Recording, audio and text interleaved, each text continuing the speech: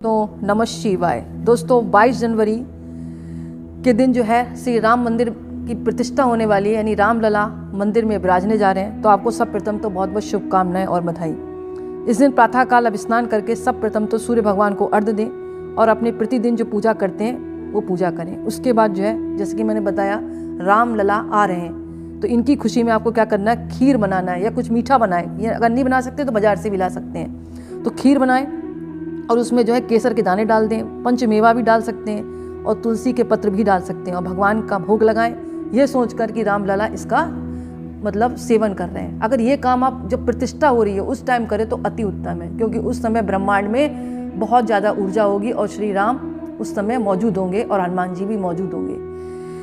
उसके उसके बाद आपको क्या करना है? उनकी आरती गानी है और बाद में आप दीपक जलाएँ, रात्रि के समय।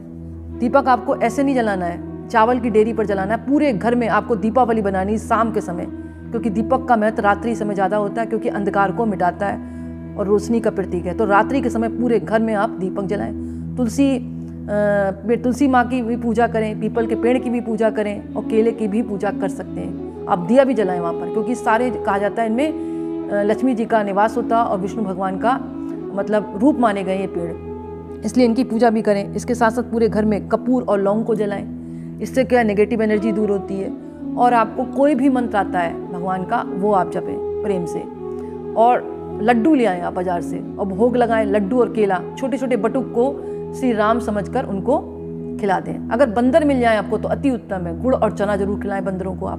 केला खिला सकते हैं, क्योंकि आप बंदरों को नहीं खिला रहे, उस समय आप हनुमान जी के रूप में उनको देख रहे हैं। और बटुक को किसके रूप में देख रहे हैं? श्री राम के रूप में, क्योंकि राम लला विराज रहे हैं।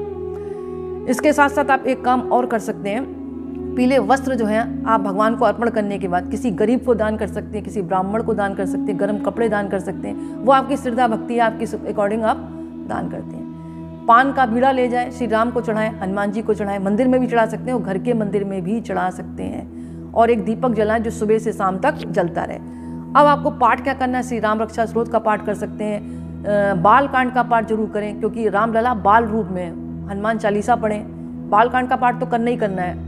और अगर आपको इतना टाइम नहीं है तो श्री राम रक्षा स्रोत का पाठ कर लें। श्री राम जी की माला कोई भी आपको मंत्र आता है, वो आप जप लें। रोम, राम भद्राय नमा, ओम श्री राम भद्राय नमा, ओम राम रमाय नमा, जो भी आपको मंत्र आता है उसका जाप करें। उसके साथ साथ आपको हनुमान जी की पूजा तो करनी ही करनी है।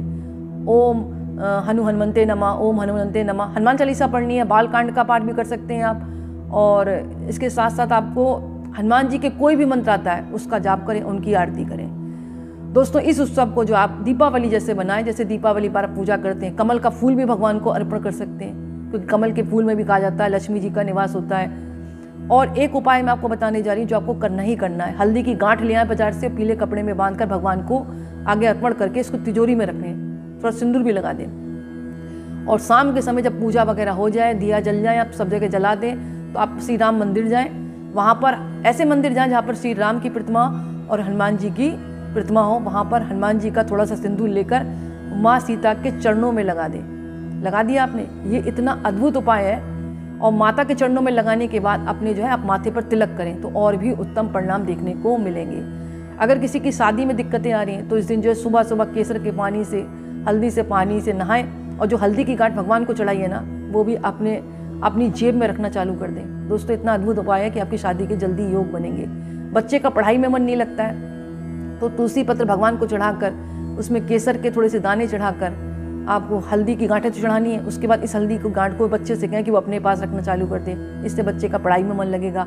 मोर पंख को भी आप बच्चे के पास रखा सकते हैं। तो दोस्तों, उपाय अनेक हैं। आप श्रद्धा, भक्ति, विश्वास के साथ जो भी उपाय करेंगे, उसके उत्तम परिणाम देखने को मिलेंगे।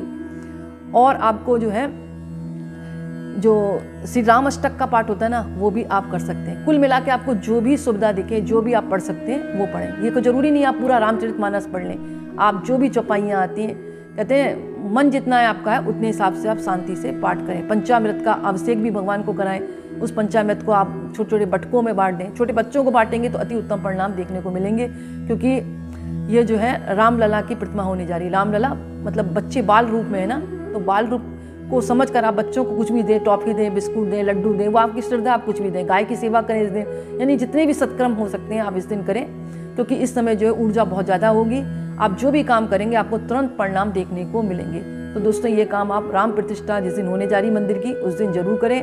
और एक, आपको एक झंडा ज़रूर लाना है, जिसमें हनुमान जी और राम जी की कोई भी फ़ोटो बनी हो, राम सीता परिवार बना हो, और वो झंडा जब मुहूर्त हो रहा हो, उस टाइम आप जो है अपने छत पर लगा दें।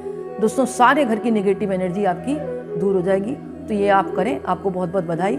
तो दोस्तों, आज का वीडियो मैं ही समाप्त करती पसंद आए तो लाइक करें, दूसरों को शेयर करें और कमेंट्स में नमस्कार ज़रूर लिखें। बहुत बहुत धन्यवाद।